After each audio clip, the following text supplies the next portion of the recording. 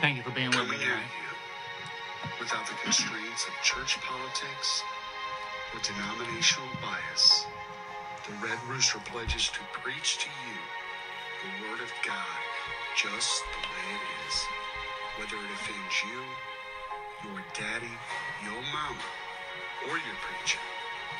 And now, without further delay, please welcome your host of the gospel message, the Red Rooster. Thank you so much. I appreciate you. Thank you for being with me tonight. Please sit down. Thank you. Thank you. I am your host, the Red Rooster, and you're watching the Gospel Message. God bless you. Thank you for being with me. A lot going on. Looks like we're going back into some partial shutdowns and mandates and masking. It's crazy. But we've got hope in a man named Jesus. It ain't in Fauci, it ain't in Gates, it ain't in CDC, it ain't in GOV, it's in GOD. My God Almighty and my Lord and Savior Jesus Christ. That's our hope. So thank God yesterday's gone. The old Red Rooster's gone. There's been a new birth. And we're serving God. At least I hope are. Uh, there is a way to do it. And uh, there's a way not to do it. Um, we might get into that a little bit tonight. Starting Psalms 100. Psalms 100, just to kind of open up. Um, there, there is a way to serve God, and there's a way not to serve God. One of the things that I've seen in life is it's beautiful is when you see somebody truly serving God from the heart. I'm not talking about somebody that's been there uh, in attendance, had a good attendance record, um, buddy buddy with a pastor, um, you know, deacons, whatever. That means nothing. But when you see somebody truly serving God with a with a true heart, truly approaching unto God, that's that's beautiful because you you begin to see the change of the human being, and not a change of selfishness, not a change for somebody else, but a change for God only. And when when somebody does that and they're serious about it, that's that's that's God beautifying us with salvation. Is when we we do it from the heart. Then there's the other kind that uh, you'll see people claim God, and I see this a lot, and I don't want to you know offend anybody. If I do, that's okay because you know we're living in a world that you can't you cannot offend people. It just happens. People get offended over everything. But if you are um, a person that believes in um, very liberal liberal ideas, um, you know, pro-abortion, uh, using the rainbow incorrectly, um, the far left, very liberal in your in your ideas. That is enmity with God. It's a separation. Uh, matter of fact, let me read that before we go to Psalms 100. A lot of people, uh, whether they know better or not, they take the name of God and they, they claim that they know Jesus and that they, they love the Lord, but yet in their actions, their works, they do everything that He says basically not to do.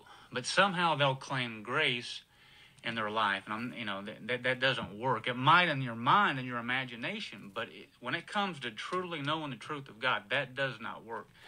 And let's just get.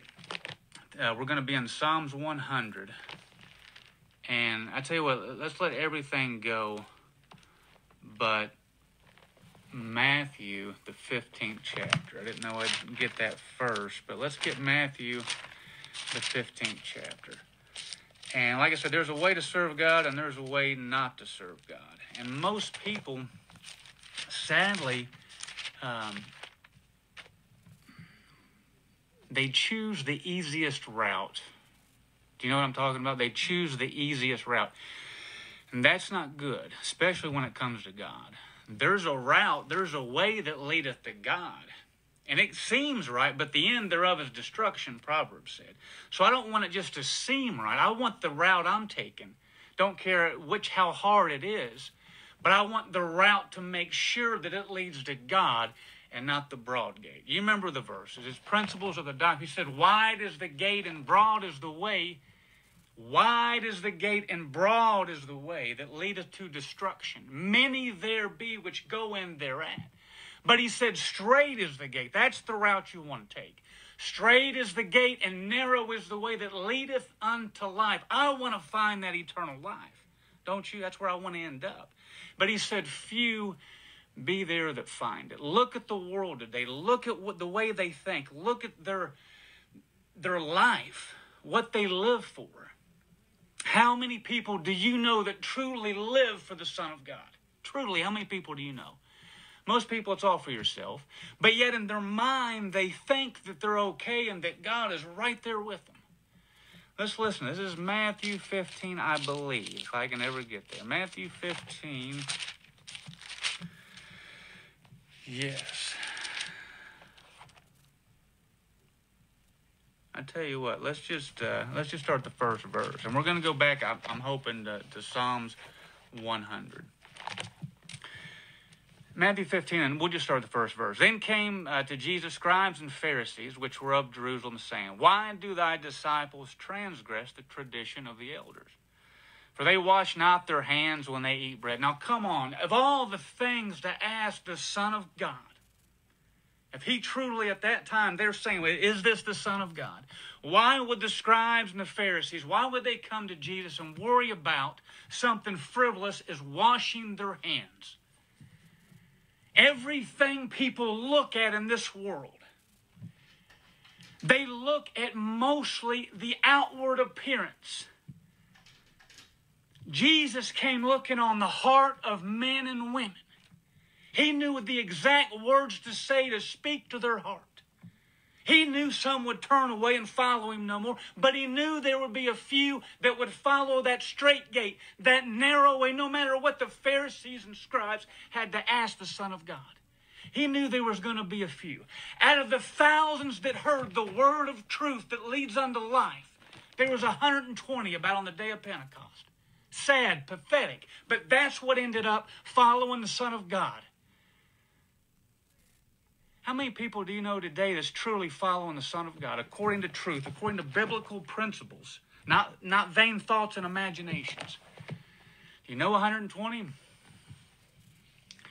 Listen to what he said. If scribes and Pharisees came asking carnal questions, all of our, our elders, they wash their hands before they eat Jesus. I mean, come on, really? But listen to what he said.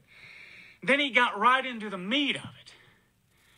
And he answered and said unto them, Why do you also transgress the commandment of God? Bam, right there. Oh, that offends me. Who cares if it offends people or not? This is the only thing in life that doesn't change. Jesus Christ the same yesterday, today, and forever. You can bank your life on the commandments of God. It's one of the last things people care about. So let's just see what Jesus told him there.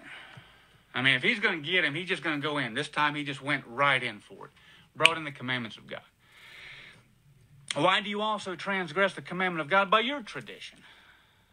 For God hath commanded, saying, Honor thy father and mother.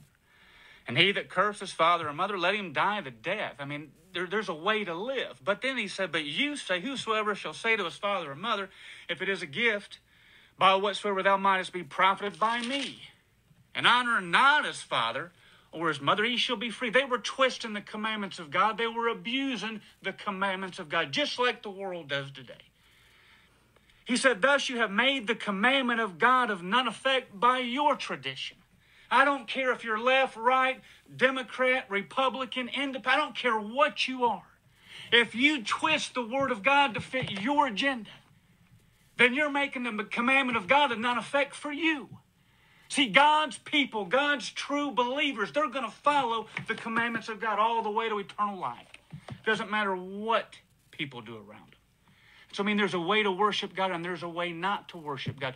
Let me ask you a question Is it possible to worship God in vain? Have you ever heard that before? Let's just read the rest of this. He said, You hypocrites. Now, wait a second. Now, I don't want to get blocked here by the fact checkers. But Jesus called them hypocrites. I'm just reading scripture.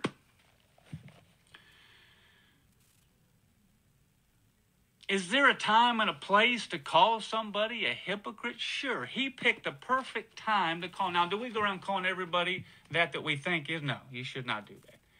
But when the Word of God, He was the Word in the flesh. When the Word of God lines you up, it shows you and it shows me if I'm being a hypocrite. It shows me if I'm claiming something that I'm not.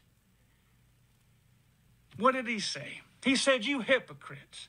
Well, did Isaiah prophesy of you, saying, This people, talking right at them, they're worried about little dirty fingertips, eating, eating with unwashing hands. Come on. This people draw nigh unto me with their mouth and honor me with their lips. But their heart, the way they were worshiping, the way they were honoring, had nothing to do with their heart because he said, But their heart is far from me. Where is your heart tonight? What's it seeking after? What's it living for? What have you put before God? I'm, it goes for me.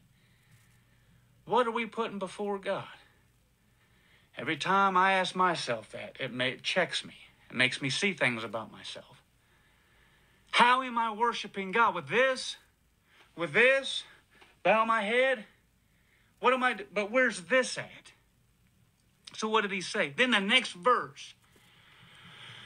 Now I know once in grace says you can't be lost no matter what you do. I disagree with that. I'm not getting in that tonight, but I'm going to read the ninth verse. It's the next verse. He says, But in vain they do worship me so, can you worship God in vain? Yes, you can. He just told them they could. He said, But in vain they do worship me. How do you do that? Teaching for doctrines the commandments of men. When you put up other doctrines above the commandments of God, it's vain worship.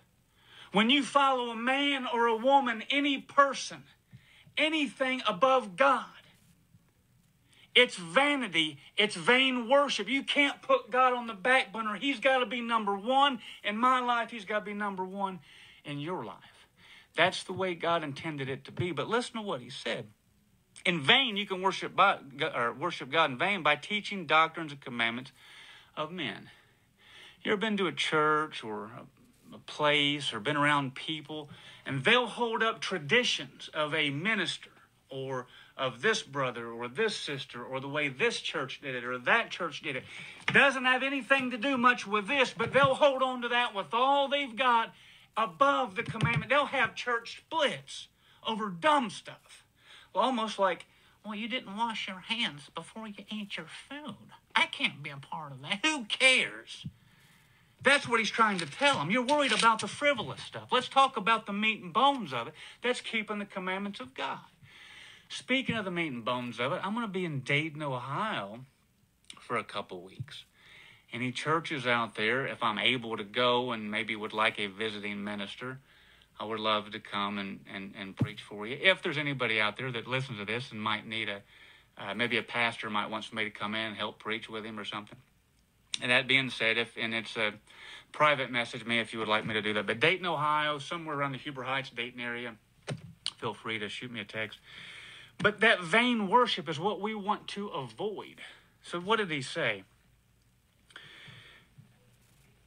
Then he called the multitude and said to them, Hear and understand. Not that which goeth into the mouth defileth the man. He wasn't worried about the dirt on your hands. But that which cometh out of the mouth, this defileth the man. It's what comes out of this end.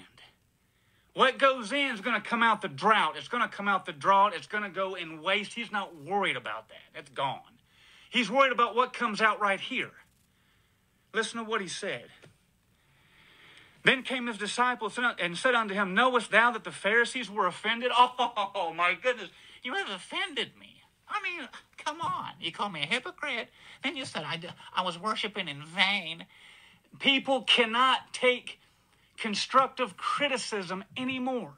They whine and cry and pout and run off or shut you down and become woke and want to shut your mouth and silence you. It's rampant all over the world. Jesus didn't come not to offend people. He came to tell them the God's honest truth, whether I like it or whether you like it, whether Fauci likes it, whether Biden likes it, whether your mama likes it or whether my mama likes it. Don't matter. He came to tell the truth. And you know what's so beautiful? This word works for everybody the exact same. I don't care if you're the richest man on the planet, this word is for you. If you're the poorest man in the planet, this word is for you. You keep the same commandment. But let's just get back into scripture. So they, his disciples came to him and they're like, oh, well, let's maybe chill out here. They're offended at what you said. So he says, Knowest thou that the, the Pharisees were offended when they heard the saying? In the 13th verse, listen to Jesus' answer. And, and, and as I'm reading and as I'm preaching, I'm saying, and it's, it's blowing my mind even more. He did not sugarcoat anything. At this time, he told them just like it was, and they were talking about the Pharisees and the scribes. Powerful people of their people at that time. But listen to what, how Jesus answered them. Then he answered and said, Jesus said, every plant. Now, I don't know if you know this, you should, but we are trees spiritually in the Bible. You go back to all throughout the Bible, he calls us trees. Jesus said, You shall know the tree by the fruit. We are trees. We're the good fruit, or bringing forth bad fruit. Good plants, bad plants. It's just spiritually written.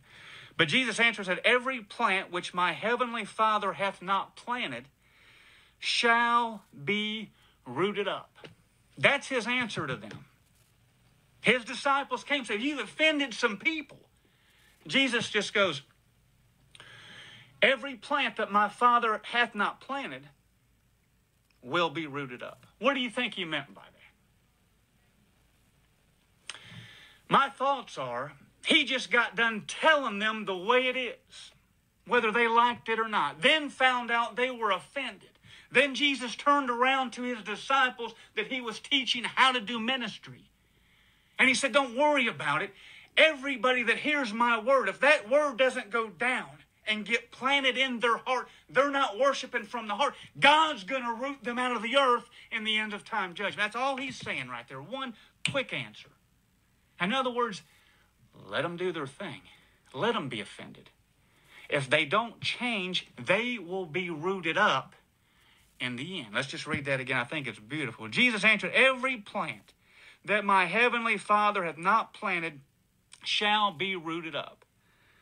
He then he said, Let them alone. Let them alone. They be blind leaders of the blind. Look at our country today. blind leaders of the blind. Look at our top leader today on this on this in this country. Top leader in this country. Think about it. Think about it. Just I'm not going to say nothing. Think about what's leading us. Then look at all the ones supporting that one. Where do you think it's going? Do you honestly think it's going to get better? If the blind lead the blind, where does it lead us? But see, that's the thing today. People, not many people want the truth anymore. Listen to what he said. Let them alone. They be blind leaders of the blind. And if the blind lead the, lead the blind, both shall fall into the ditch. He didn't say go stop them. He didn't say go put a wall up before the ditch so they don't fall. He said let them go if that's what they want. If they want to be blind. Matter of fact, Second Corinthians, the fourth chapter said, if our gospel be hid, they're blind to it. It's hid to them that are lost. They can take his name all they want to. They can hold the Bible far above their head and wave their arms and say, Praise God, hallelujah. But if they're not worshiping from the heart, it's vain and they're blind. They don't even know what they're doing. But you know what Jesus said? He wasn't worried about it. He said, let them go. Maybe after time, when people get tired of falling in the ditch, maybe there'll be somebody come by to help them get out of that ditch. But if that's where they want to be, Jesus said, let them go. I don't care if it's family, friends, loved ones, boss, business, it doesn't matter. If that's what they want to do, that's what they're going to do. But the people of God have to worship from the, I ain't worshiping in vain. I'm not abusing the rainbow the wrong way.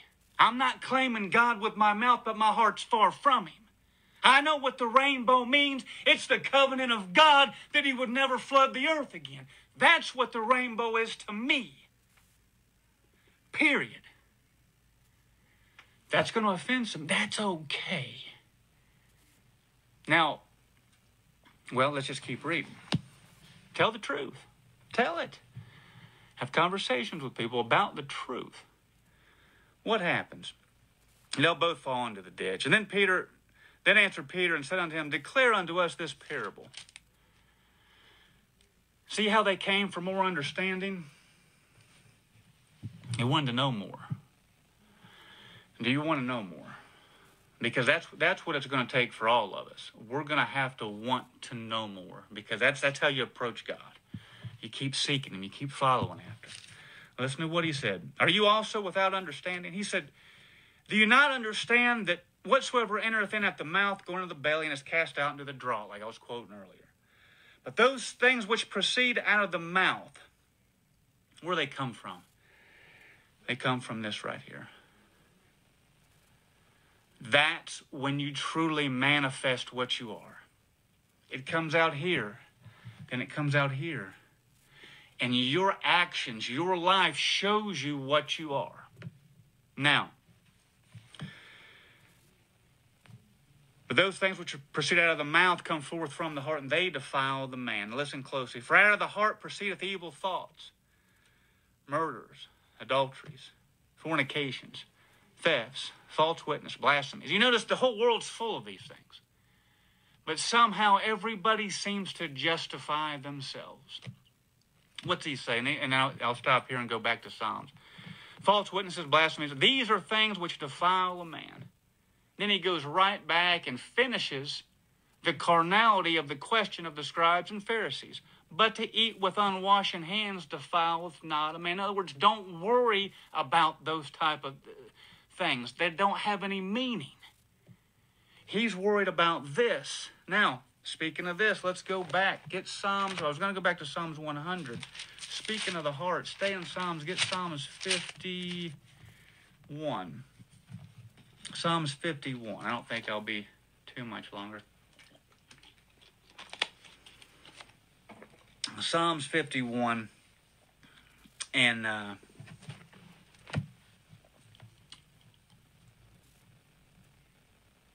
mm, it's all good. I must. Wow. Uh, four, five. Psalms 51 and 5. He says, Behold, I was shapen in iniquity, and in sin did my mother conceive me? We've all sinned, came short of the glory of God. But is there a way to get out of that? Is there a way to be cleaned up? Matter of fact, can that heart be clean from that iniquity? See, a lot of people teach, and I'm not going to get in it tonight, but a lot of people teach that you can't help but be in sin. I say that's completely wrong. The power of God gives us the power to stop the things we were doing. Okay? That's the power of the blood of Christ is to give us the power over that sin. That sin has no longer dominion over us. Uh, Romans 8 chapter. Now, 50, uh, Psalms 51. What's he say? The next verse. Behold, thou desirest truth in the inward parts. See, that truth has to penetrate everything you've been taught. I don't care how far left or wherever you've come from when you've been indoctrinated by the, by the teachings and doctrines of men and women that are contrary to this, this Word of God has to bust through that hardened heart. It has to be created again and be cleansed. And it hurts, it doesn't feel good, and you will be offended at times. But that's okay. So he said, Behold, thou desirest truth in the inward parts and in the hidden part, thou shalt make me to know wisdom. Christ, the power of God and the wisdom of God. What does he say? Purge me with hyssop, and I shall be clean. Wash me, and I shall be whiter than snow. There's a way to be cleansed.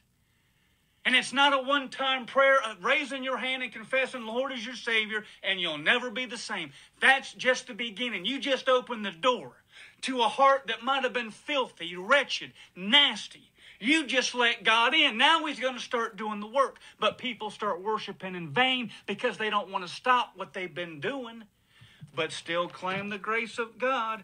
That's worshiping in vain. And the world's ate up with it. Don't get me wrong. Do we make mistakes? Yeah. Is God going to show me things about myself down the road that I might be doing now that I didn't know? Maybe I shouldn't have done? Sure, He is. But when He shows you, that's when He knows your choice. Are you going to continue on in it? Or are you going to continue with God? That's how you stay clean. It ain't a one time cleansing. It's not even close to biblical. But I'm gonna let me finish up here. Uh, purge me with hyssop, I shall be clean. Wash me, and I shall be whiter than snow. Make me to hear joy and gladness, that the bones which thou hast broken may rejoice. What are you talking about? What bones were broken? God doesn't go around with a baseball bat or um, hashtag uh, uh, Chuck um, football bat. Uh, he doesn't go around and do that and start breaking people's bones. It's, that's carnal thinking the bones that he breaks, it's spiritually. He crushes us, he destroys us so he can make us new again. The body of the Son of when he was doing the last or the, the Last Supper, he said, This is my body which was broken for you. It's spiritual. We know not a natural bone of the Son of God was broken, but as when he was made sin for us, God broke that. God destroyed that sin on the cross. And if we believe by faith, He can clean us up and give us the power to, to put away sin as well. We don't have to do those things that defile us. Remember the murderings, the thefts, the adulteries, the blasphemies, the lying, the false witness, all the, we don't have to continue in that. Through the blood of the covenant, He can heal us. He can bind up that broken heart, those broken bones. That man is broken. That woman is broken. He can heal us and bind us up when He does that, it's our job and our commandment to follow the Son of God. That's a new and living way, and there's so much more. But let me finish this up. He doesn't make us clean to go back out into the filth. He wants us to stay clean. Listen to what he said.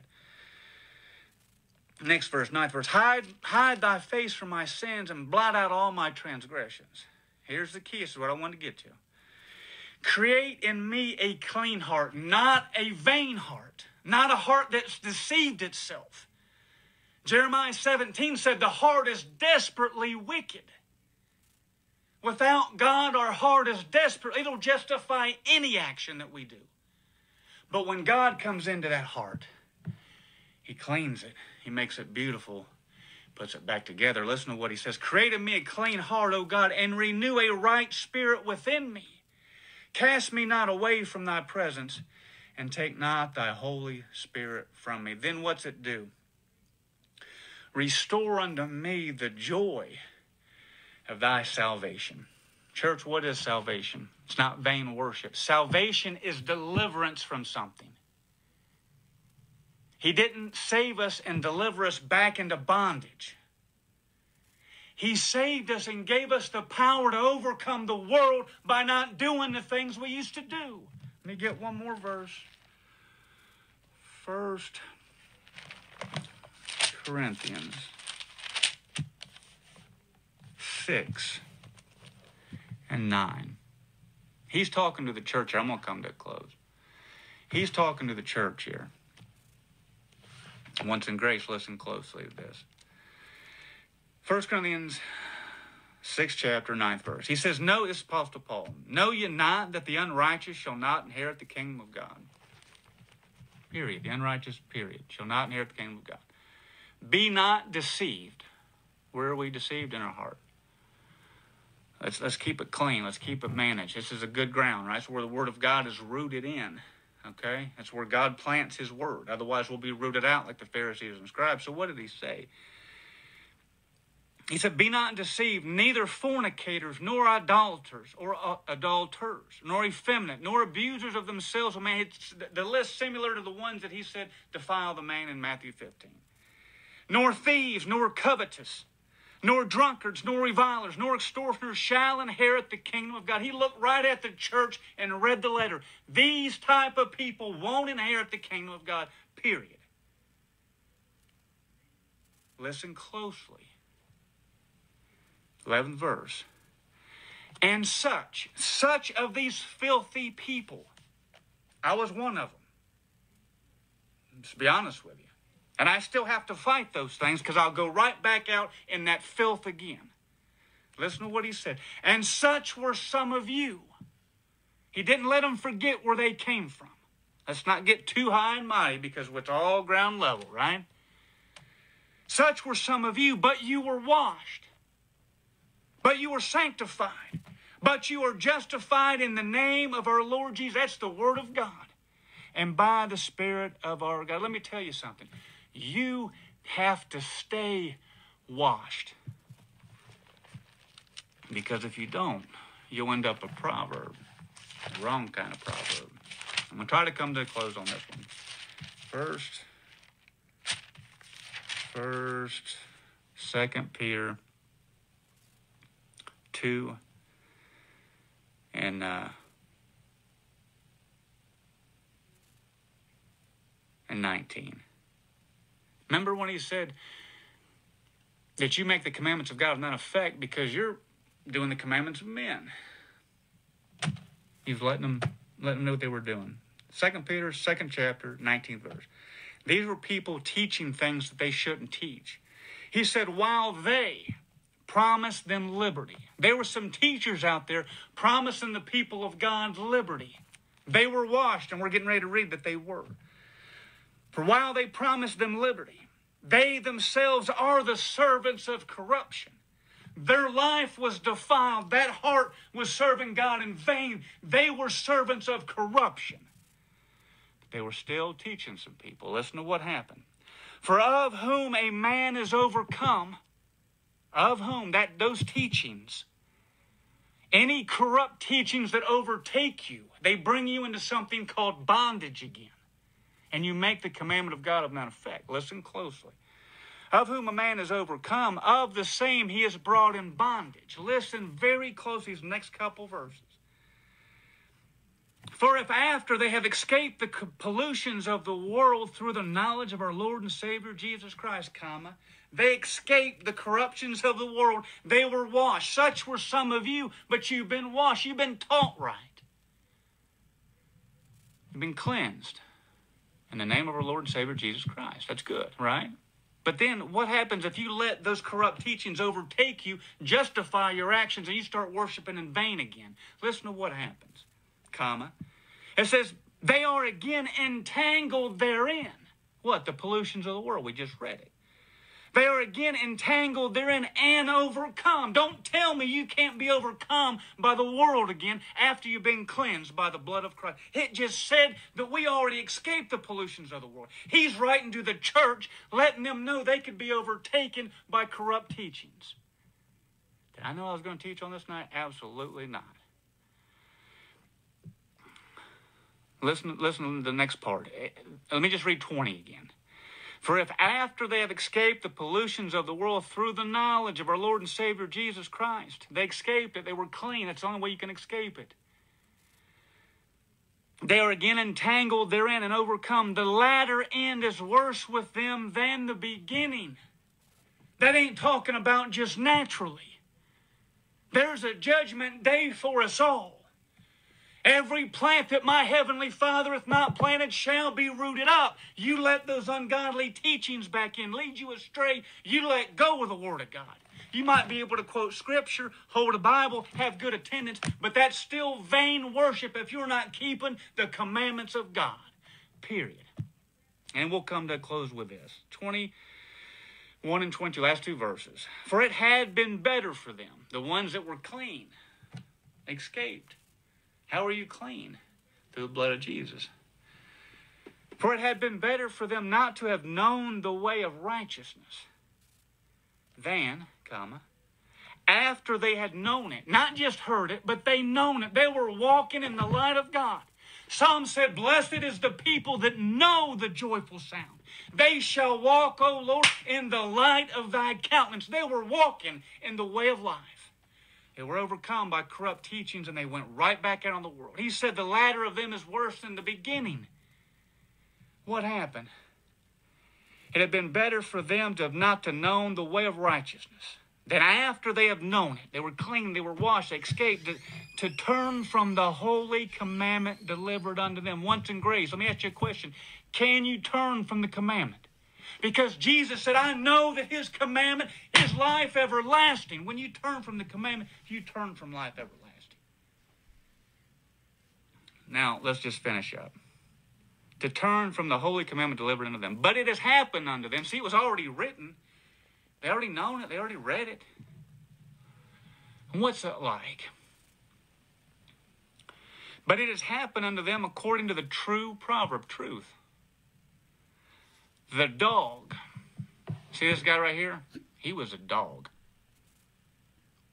Remember the, the verse, even the dogs desire the crumbs that fall from the master's table. I was a filthy dog at one time. God was not in my life at all. But then I heard the word of truth, got offended a little bit, started looking at the light, came to it, changed my life, was washed. I escaped the things that had me bound. I ain't going back. Because what would that be? But it has happened unto them according to the true proverb the dog is turned to his own vomit again. Corruption came back in, come out, like a dog licking it back up. What else? And the sow that was washed, that pig that was washed, and the sow that was washed to her wallowing in the mire. People want to claim grace, go back out in the world, say, Oh, I'm not the person I should be, but got God's grace. What does that even mean? It's vain worship. Thank you for being with me tonight. Um, tune back in Thursday night, 7 o'clock. Um, and I didn't even look at any comments. I was let the computer go. Let me get my little go away music here. God bless you. And I want you to know that uh, you have been watching the gospel message. And I am your host, the Red Rooster. God bless you. Turn that up